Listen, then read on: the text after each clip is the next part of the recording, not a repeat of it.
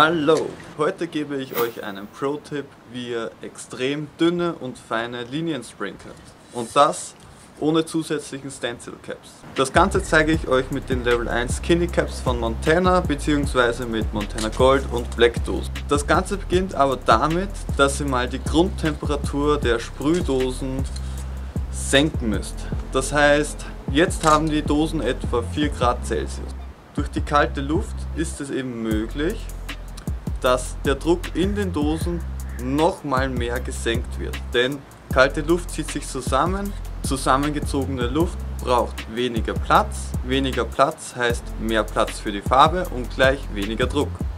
Im Winter ist das ganz einfach. Ihr könnt einfach die Dosen ein bisschen draußen stehen lassen, achtet aber darauf, dass sie nicht zu kalt werden, denn sonst wird euch die Farbe stockig. Im Sommer ist es etwas schwieriger, hier könnt ihr euch auch zum Beispiel mit einer Kühlbox helfen.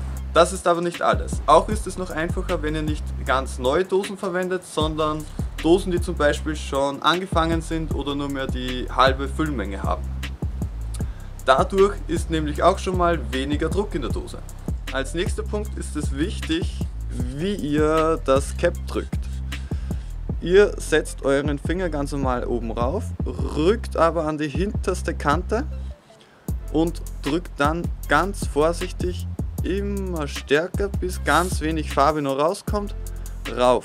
Das heißt, ihr drückt nicht voll durch, sondern ihr kippt nur leicht das Cap, sodass eben ähm, etwas weniger Farbe raussprüht. An der Wand direkt, geht ihr mit der Dose dann direkt an die Wand, kippt sie dann leicht nach oben, sodass das Cap noch näher an der Wand ist, rutscht mit dem Finger eben nach hinten und sprüht dann mit viel Gefühl ganz dünne Linien.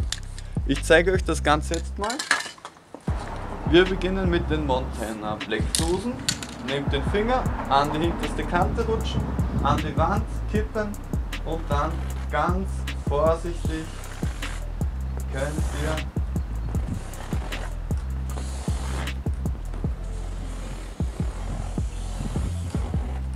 extrem dünne Linien machen.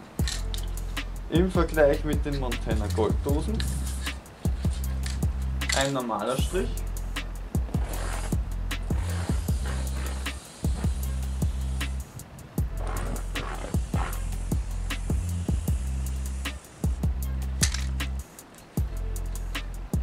Im Vergleich nochmal ein normaler Strich mit den Blackdosen.